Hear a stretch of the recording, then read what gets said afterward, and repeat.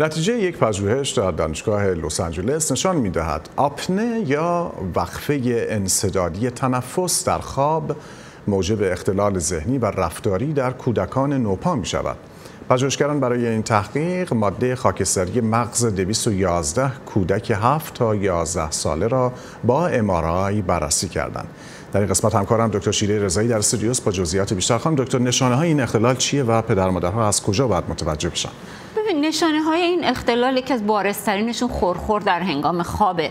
بعد بچه تقلا می‌کنه بیشتر از اون چیزی که انتظار میره در طول شب و این ها به صورت حمله ای اتفاق میفته و گریه های نابه هنگام می‌کنه. شبا بیدار میشه خیلی بیدار میمونه و در طول روز خواب آلوده. اما اینکه پدر این آپنه که اشاره می‌کنیم در واقع معمولا چند ثانیه است در طی خواب تفاوتش با آپنه بزرگسالان در بچه اینه که معمولا انصداد راه های تنفسی باعثش میشه. 5 درصد بچه هم بهش مبتلان. وقتی میگم انصداد راه تنفسی یعنی لوزه بزرگه یعنی لوزه سوم دارن پولیپ دارن عفونت حاد مزمن تنفسی کردن. خب اینا یه سری نشانه های دیگه هم داره. مثلا عفونت تنفسی کرده باشه سرفه آبریزش اشک تبم می‌کنه. به این همراهی این دو تا علامت اگه توجه کنن متوجه میشن. وقتی تنفس قطع میشه بدیش اینه که اکسیژن به مغز نمی‌رسه. و حالا متوجه شدن تو این تحقیق اون اکسیژنی که به مغز نمی‌رسه سلول های قشر خاکستری مغز که بخش شعور و پردازش های ذهنیه می‌کشه. خطر ایجاد چه اختلال ذهنی یا رفتاری رو به وجود خواهد آورد؟ خطر خطر اینه که اون وقتی اون سلول های قشر خاکستری میمیرن بچه ها نشانه هایی که بروز میدن تغییرات خلقی شدیده. بچه هایی رو می‌بینین که قابل کنترل نیستن هیجانی ان.